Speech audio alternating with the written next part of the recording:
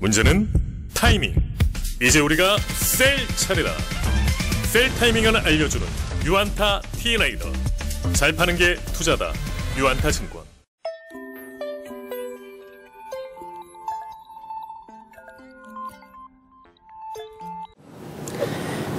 안녕하세요. 유한타증권에서 미디어 엔터테인먼트를 담당하고 있는 박성호 연구원입니다.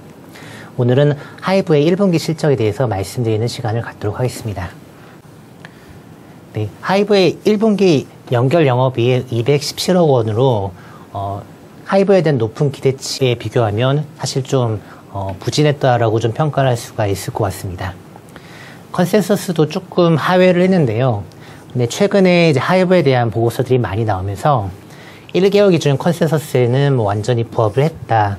즉, 어, 이 정도의 실적이 나올 것은 이미 예견된 어, 실적이다라고 보시면 될 것 같습니다. 자, 이 1분기 실적이 이렇게 안 좋았던, 저조했던 이유는 아티스트 활동량 부재 때문에 그렇습니다. 1분기 때 유의미한 활동한 아티스트가 전무했습니다.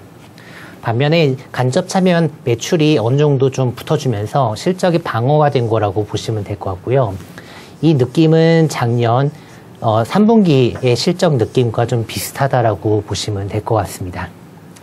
자, 아티스트의 간접 참여형 매출 어, 천억을 넘었습니다. 한 1100억 정도를 찍어서 뭐 전체 매출에서 보면 62%나 차지를 하였습니다. 어, 그리고 지금 저희가 핵심 지표로 보고 있는 위버스 MAU도 뭐 490만 명을 기록을 했는데요. 아티스트 활동이 없었던 거를 감안하면 뭐 크게 늘어난 건 아니지만 20만 명이라도 늘어난 거는 나쁘지 않았던 성적이었던 걸로 평가합니다. 다만 이제 저희가 지금 생각하고 있는 거는 이 위버스 MAU 상승세가 굉장히 빨라야 하이브의 주가에 긍정적으로 작용할 수가 있게 되는데 470만 명에 도달한 이후 동사의 간접 참여형 매출이 매 분기 천억을 상회하고 있지만 여기에서 이제 추가적으로 조금 올라가는 속도가 좀 느리기 때문에 어, 정체되는 느낌을 좀 주고 있다라는 겁니다.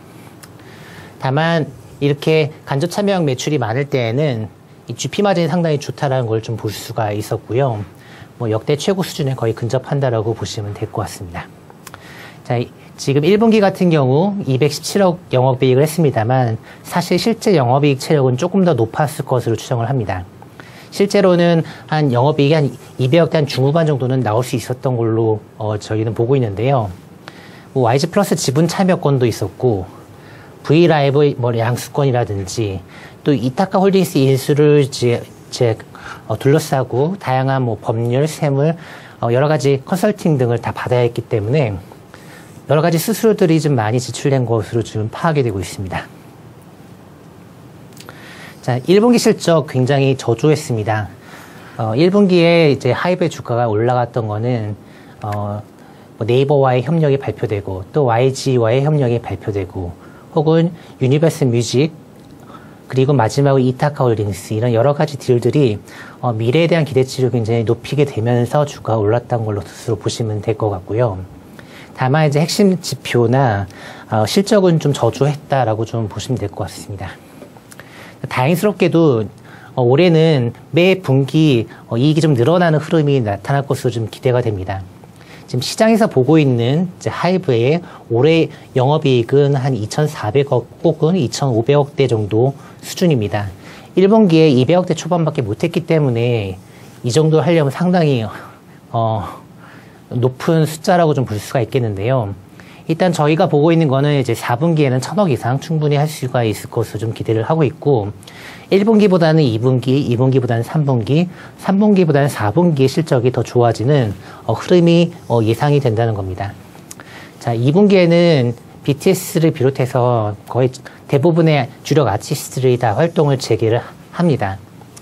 자, 3분기에는 이타카 홀딩스 실적이 완전히 연결 실적에 반영이 되게 됩니다. 4분기에는 어, 계절적 성수기입니다. 따라서 거의 대부분의 아티스트들 활동할 가능성이 높고요. 다양한 앨범 발매가 있을 거고 온 오프라인 콘서트도 있을 것으로 기대가 됩니다. 또한 이 YG와 이타카 홀딩스 아티스트들의 위버스 입점 효과도 본격적으로 반영될 것으로 예상이 되고 있기 때문에 실적이 매우 좋을 것으로 좀 기대를 하고 있습니다. 하이브의 주가를 좌우할 수 있는 핵심 지표는 위버스가 될 것 같습니다. 위버스의 MAU라든지 ARPU 같은 지표가 어, 중요할 것으로 좀 보여지고 있는데요. 일단 앵커 콘텐츠인 BTS 트위터 팔로워 수가 계속 늘어나고 있기 때문에 전반적으로 BTS를 둘러싸고 있는 light 팬덤이 늘어나고 있다는 게 확인되고 있는 거고요. 그게 이제 위버스 MAU로 늘어나고 위버스 ARPU로 늘어나게 되면 core 팬덤도 늘어나고 있다는 것으로 평가할 수가 있을 것입니다. 마침 이제 5월 달에는 BTS 영어 신곡이 나옵니다. 버터라는 신곡이 나올 거고요. 작년도 다이나마이트와 같이 어, 좋은 어, 성과를 빌보드에서 보여줄 수 있게 되면 추가적인 팬들이 이제 유입이 되게 되면서 위버스 MAU 상승세에 조금 더 탄력이 붙지 않을까라고 좀 생각하고 있습니다. 자, 그리고 하반기 이제 YG랑 이타카 홀딩스 관련 아티스트들의 위버스 입점 효과가 이제 본격적으로 붙게 되면 이 위버스의 가치가 올라가게 되면서 어, 하이브의 주가에도 상승 탄력이 어, 붙을 수가 있겠다라고 저희는 보고 있습니다. 여기까지 하이브의 실적과 향후 주가 저- 전망에 대해서 말씀드리는 시간 가졌습니다. 경청해 주셔서 감사합니다. 문제는 타이밍. 이제 우리가 셀 차례다. 유안타 티레이더.